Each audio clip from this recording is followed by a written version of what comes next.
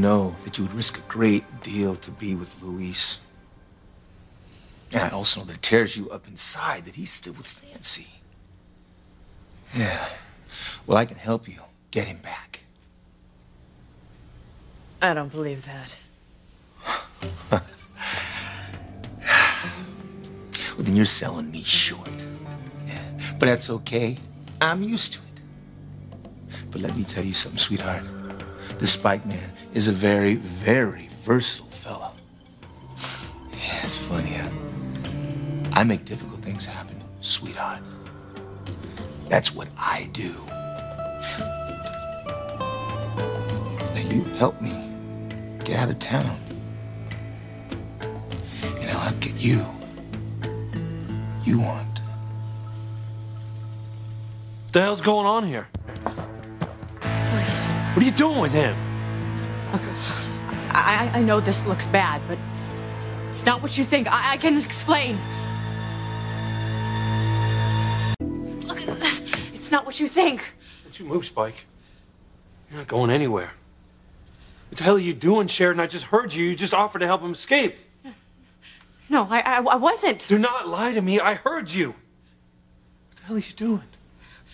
What are you doing, Sheridan? This man is a cold blooded killer. He kidnapped Jessica, he buried her alive. How are you even thinking of offering to help him escape? I, I, I wasn't going to help him. Well, you didn't say no. Sheridan, I heard you. What what is going on? You two know each other or something? No. Didn't I just tell you not to move? Didn't I? What did I just tell you? Sheridan, call Harmony P to give me some backup. Sheridan, call for backup. You leave Luis alone! Sheridan, what did I just say? I had him. I had him, okay?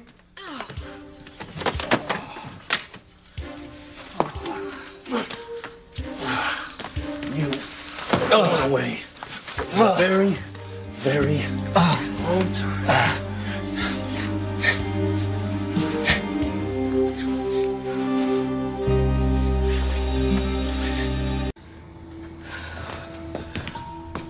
Well, Spike's on his way to the big house. I made sure they cuffed his ankles in case he tried to run again. Are, you all right? Did, did he hurt you? No, I'm fine, Sheridan. But I want some answers. Answers? Answers, yeah, answers. Like why he expected you to help him? Why you didn't call for backup when I asked you to? I, I was I was just so terrified. Terrified. Yeah, you should have been terrified, Sheridan. Spike is a pimp. He made Jessica, his own wife, into a prostitute, and he tried to kill her. He killed all her Johns. I know he's horrible. So then why, in God's name, did you agree to help him?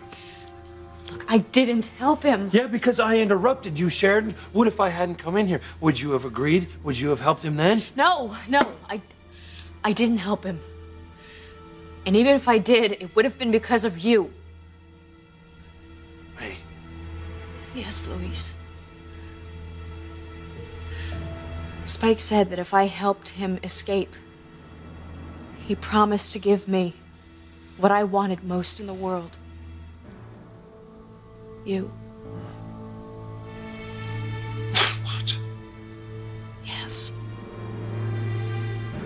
He promised to bring you back to me. You have to understand how much I want that. Actually, Sheridan, I don't understand. We're over. We have been over for quite some time now, Sheridan. No, no, Luis, no. I, how can you say that after everything we talked about? After we talked about our son, after everything that we lost? We bonded again. You know we did. No, Sheridan. It's over. No, it's not over. I won't let it be. Sheridan, you've been through a lot. You thought I was dead. You married Chris, and you fell in love with his little boy, so you tried to make that work, and now they're gone, and you're trying to recapture what we once had. I lost Chris and James. Because I couldn't stop loving you. We can be happy again, and you know no, that. Sher- no, we can't.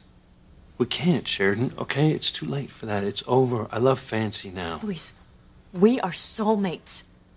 We have shared past lives together. We belong together. No, Sheridan. I'm sorry. I... What we had, it was wonderful. I gotta tell you, I. I don't even know who you are anymore. Don't say that. You know who I am. You know you love me. I loved you. Not anymore. I, I don't even understand you. Now, I never thought that I would ever hear myself say this, but it's like you're a real Crane now. Like Alistair or Julian, you've somehow managed to go to the dark side. That's not true. I am still good. You're good? Sheridan, you tried to kill my sister. You tried to kill Theresa. I, I don't. I don't know. It's like all this Crane, money, and power. It's all gone to your head. Because it was always in you, and now it's finally come to the surface. Fancy, somehow she managed to avoid all that. No, you know what? If you only knew No, what Sheridan, I don't even want to hear it.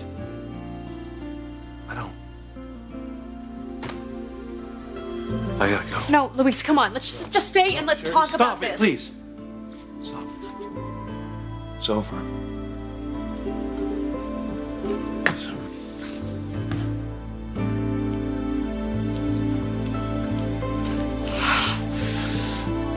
Damn Fancy.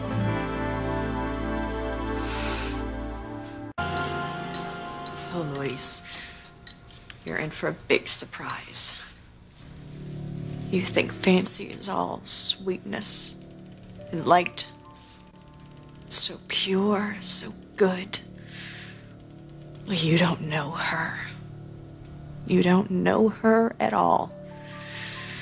She's more of a Crane than any of us. And sooner or later, you will see the dark side of Fancy.